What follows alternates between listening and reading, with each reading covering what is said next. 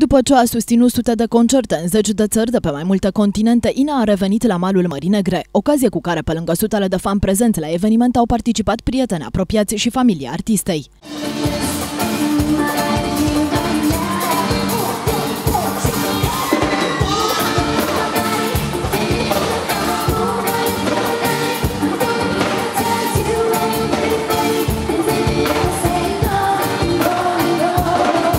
Fanii au arătat că știu fiecare vers al artistei descrisă de presa internațională ca fiind un adevărat fenomen.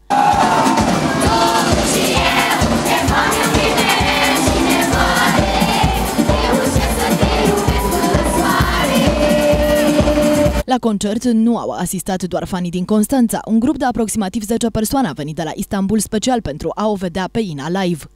Cum vi s-a părut uh, concertul? Senzațional, mai pomenit, foarte frumos. Uh, sunt fanul Inei și o așteptam uh, anul ăsta să o văd cu mare nerăbdare.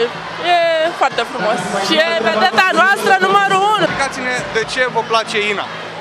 Pentru că e tânără, frumoasă și cântă o muzică relativ de calitate. Se poate și mai bine, dar pentru nivelul ăsta e bine.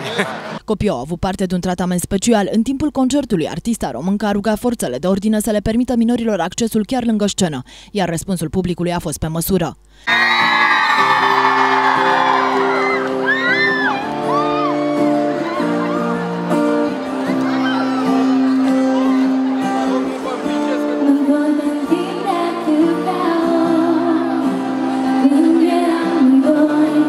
Place ție la Ina?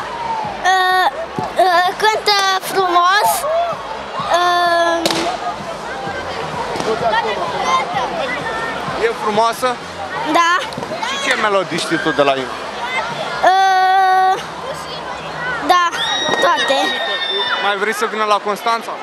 Da. Pe lângă copii, persoanele de toate vârstele au fost prezente la concert pentru a asculta cele mai cunoscute hituri ale Inei, dar și pentru a lua un autograf de la artistă. Ți-a plăcut concertul? Foarte mult. Ce ți-a plăcut cel mai mult? Uh, când a cântat Ina. Și de ce ai luat două autografe? Unul pentru prietenul meu, Dani. Foarte frumoasă și are o voce de nedescris. La final, Ina nu a plecat până nu a oferit tuturor celor care au dorit autografe.